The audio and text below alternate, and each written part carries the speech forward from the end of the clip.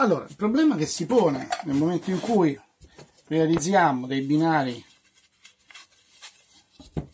in casa è quello della giunzione, cioè dobbiamo andare a ricreare questo sistema. Questi sono vecchi binari dell'IKEA, eh, l'IKEA ha cambiato questo sistema di giunzione perché evidentemente perché si rompeva e adesso invece utilizza praticamente dei giuntori di plastica che vengono inseriti qui dentro. Mettiamoci così, così ci si vede meglio. Ecco qua. Tra le, ho provato varie cose, alla fine il sistema migliore che mi è venuto è questo qui. Dove ci mettiamo? Eccolo qua. Questo giuntore che è praticamente una specie di percento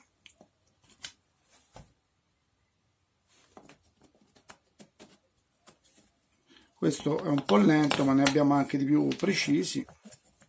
Penso. Fatti parecchi. Ed eccolo qua.